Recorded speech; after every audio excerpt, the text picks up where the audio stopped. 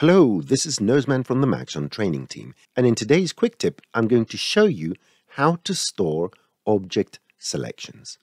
To demonstrate this, I'm going to use this uh, simple T-pose rig. And uh, what I want to do is go here to the hand, and I'm going to select this digit, come over here, press S to unfold the hierarchy, and I need to find all the digits. So middle click on this, then shift on this, shift and middle click on this, and shift middle click on this. And what I want to do is go to the coordinates, make sure that all the transformations are frozen, and then go and find which rotation is going to make the fingers curl. And uh, there you have it. These are the fingers.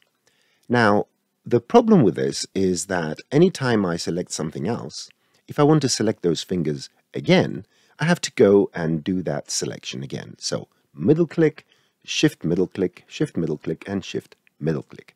But I want to do that in an easier way. So the way to do this is first select all the objects you want and then press Shift C to bring up the commander and type set selection. And the first thing that comes up is called selection and it's a scene object. Click on it and now you have a selection object and if you go to the object tab, it contains everything you had selected.